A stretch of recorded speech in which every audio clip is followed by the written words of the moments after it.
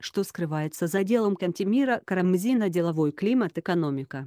19.16, 7 октября 2019 года юрист под грифом «Секретно», что скрывается за делом Кантемира Карамзина.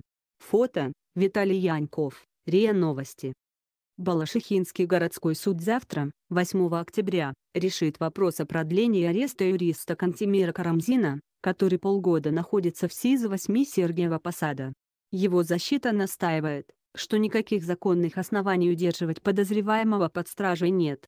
Юриста обвиняют в банальном покушении на мошенничество, но это дело уже стало резонансным не только потому, что в нем проводят параллели с делом Магнитского. Здесь переплелись интересы ФСБ, Генпрокуратуры, Мосгорсуда и Верховного суда. О новых скандальных подробностях дела в материале ленты.ру. Черемушкинский суд Москвы недавно признал возбуждение уголовного дела против Кантемира Карамзина незаконным. Казалось бы, обвиняемого должны выпустить из СИЗО. Но этого не произошло.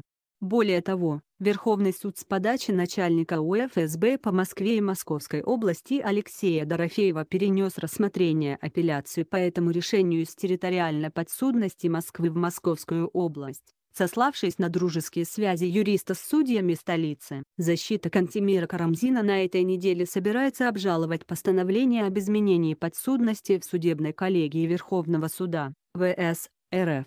Адвокат Марина Громова написала заявление на имя судьи ВС РФ Зателепина ОК. Она просит предоставить копию письма начальника УФСБ по Москве ему прокурору Московской области которая 27 сентября была приобщена представителям Генпрокуратуры к материалам дела без обязательного предоставления копии стороне защиты, чем были нарушены основы состязательности, поскольку этим документом обосновано ходатайство об изменении территориальной подсудности, говорится в заявлении адвоката. Копия документа имеется в распоряжении ленты.ру. Защита, со ссылкой на многочисленные процессуальные нарушения, считает вынесенное судьей ВС постановление об изменении территориальной подсудности дело юридическим нонсенсом и попыткой ввести новую правоприменительную практику, а письмо генерала Дорофеева, послужившее катализатором процессов, голословным и необоснованным. Кстати, в вынесенном постановлении судьи ВС Зателепина о скандальном письме начальника УФСБ Москвы ему генерала Алексея Дорофеева также не упоминается ни слова. 12 лет спустя. История, из-за которой задержали Карамзина, началась в 2007 году. Он был арестован по обвинению в подделке подписи под договором займа с писателем-мемуаристом Олегом Блоцким. История давняя и темная.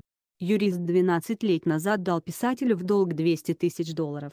По версии Карамзина, Блодский долг не вернул, по версии Блодского вернул. Есть нюанс. Карамзин доказал, что он прав в этом споре, не только в районном и городском судах, но и в Верховном суде РФ.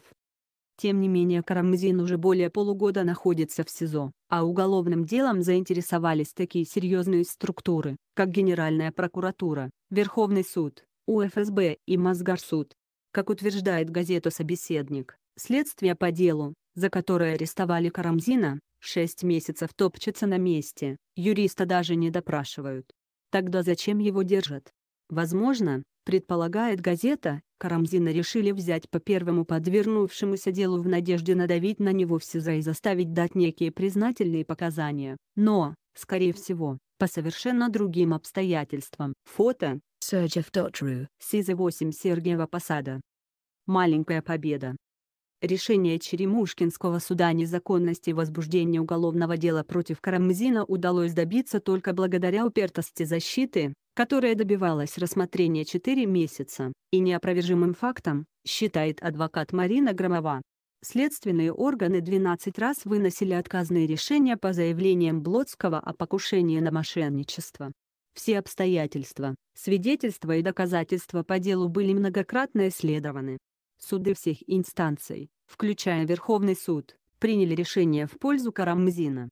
Однако после вмешательства УФСБ дело возбудили в 13 раз.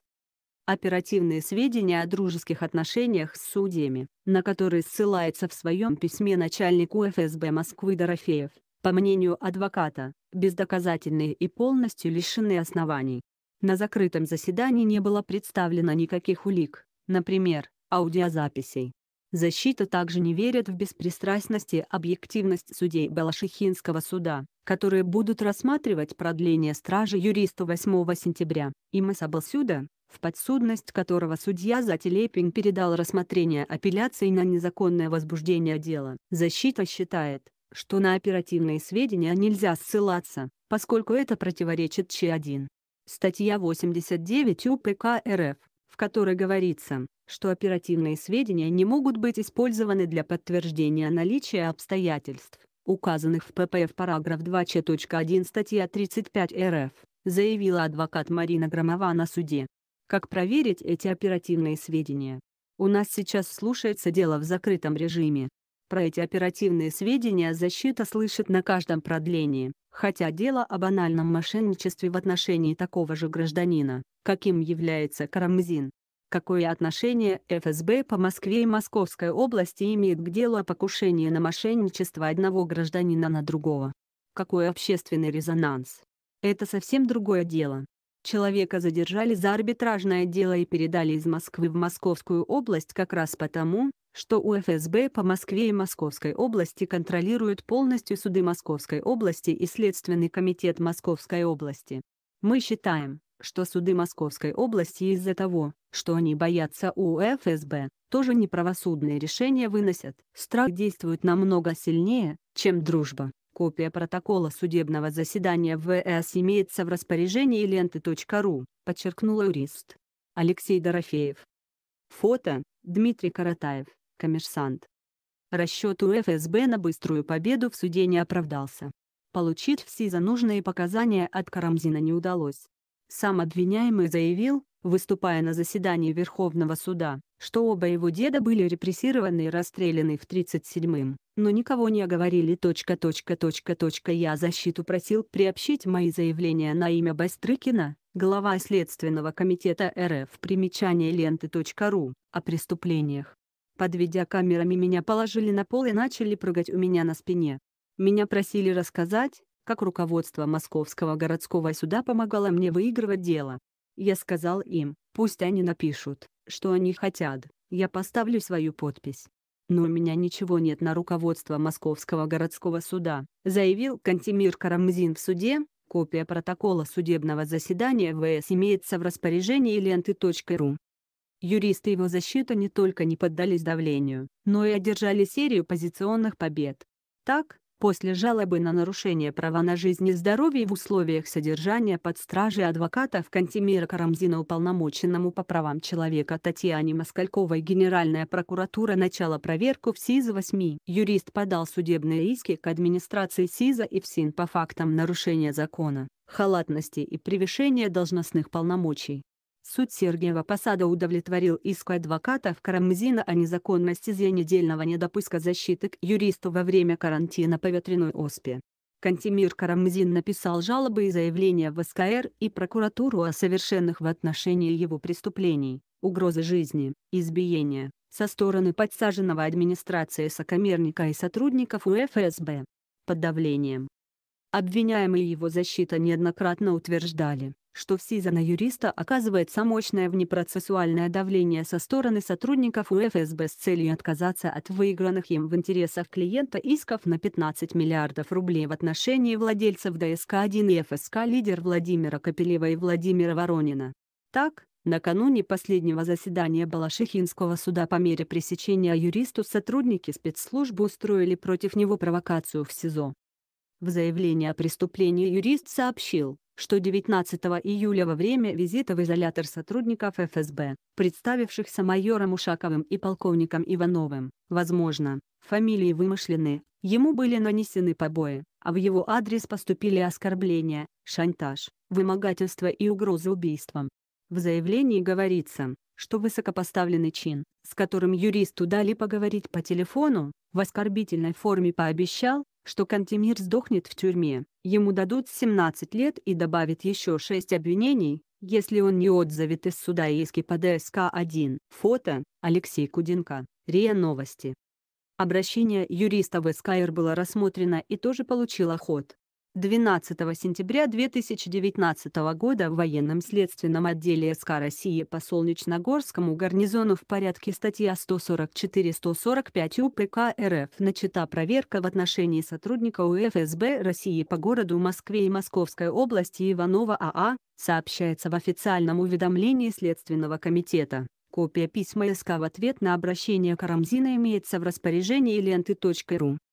Тем временем, как сообщают адвокаты юриста, следовательца по городу Балашихи УСК РФ по Московской области капитан Дмитрий Николаев назначает шестую повторную и седьмую по счету экспертизу по делу юриста, пытаясь уличить его в подделке подписи под договором займа. При этом три экспертизы, проведенные в 2014-2015 годах в ЭКЦУВД по ЮЗАГу МВД РФ по городу Москве сделали вывод, что подпись Олега Блодского на договоре займа на 200 тысяч долларов непригодна для почерковеческого исследования, так как слишком короткая. Еще три экспертизы, датированные 2019 годом, сделанные уже после ареста юриста, этот вывод подтвердили. Их проводили специалисты Института криминалистики Центра специальной техники ФСБ РФ, ЭКЦГУ МВД России по городу Москве и даже эксперты Управления ФСБ России по городу Москве и Московской области. Однако 30 сентября следователь отправил запрос на седьмую повторную экспертизу на этот раз в РФЦ при Минюсте РФ. Кадр. Первый домостроительный комбинат. YouTube. При этом Дмитрий Николаев нарушает некоторые процессуальные нормы. В распоряжении ленты.ру имеется копия заявления защиты Карамзина о нарушении права на защиту путем игнорирования обязанностей об уведомлении о заседаниях по продлению меры пресечения. Адвокат Карамзина утверждает, что следователь ввел ее в заблуждение по поводу даты рассмотрения дела в Балашихинском горсуде. Между тем параллельно уголовному делу продолжается арбитражная война за акции ДСК-1. Несмотря на включение в спор за 15 миллиардов рублей такого серьезного союзника, как у ФСБ Москвы, развалить дело строителям, пока Карамзин находится в СИЗО, так и не удалось. Акции комбината по-прежнему под арестом. Сторона Ричардса Карамзина выиграла у своих оппонентов серию важных решений. Так, в конце мая этого года арбитражный суд Московской области оставил в силе решение о банкротстве Владимира Капелева и определение об обеспечительных мерах к имуществу организаций, в отношении которых бизнесмен выступает бенефициарным владельцем. Девятый арбитражный апелляционный суд 9 сентября 2019 года постановил ограничить право на выезд из Российской Федерации Капелева Владимира Ефимовича до даты вынесения определения о завершении или прекращении производства по делу о банкротстве гражданина, в том числе в результате утверждения арбитражным судом мирового соглашения, копия постановления имеется в распоряжении ленты РУ. Девятый арбитражный апелляционный суд 12 сентября повторно отказал в прекращении обеспечительных мер по акциям АО ДСК-1 и 5 ООО, на которые выводилось имущество АО ДСК-1 в деле о банкротстве Владимира Капелева. В настоящее время все основные процессы в деле о банкротстве отложены арбитражным судом на 12 декабря 2019 года. По сведениям юристов Ричард Секс, директор ДСК-1 Владимир Капелев скрывается от кредиторов в германском городе-курорте Баден-Бадене, где у него гостиничный бизнес, и вернуться в Россию не может, так как сразу попадет под Невест. В деле Карамзина все больше вопросов, нежели ответов. Одни эксперты называют юриста злодеем, другие – фигурантом заказного дела строителей и жертвой в войне между правоохранительными кланами. Так или иначе, но этим делом создан прецедент, который в дальнейшем будет влиять на работу всей судебной системы России. Константин Липунов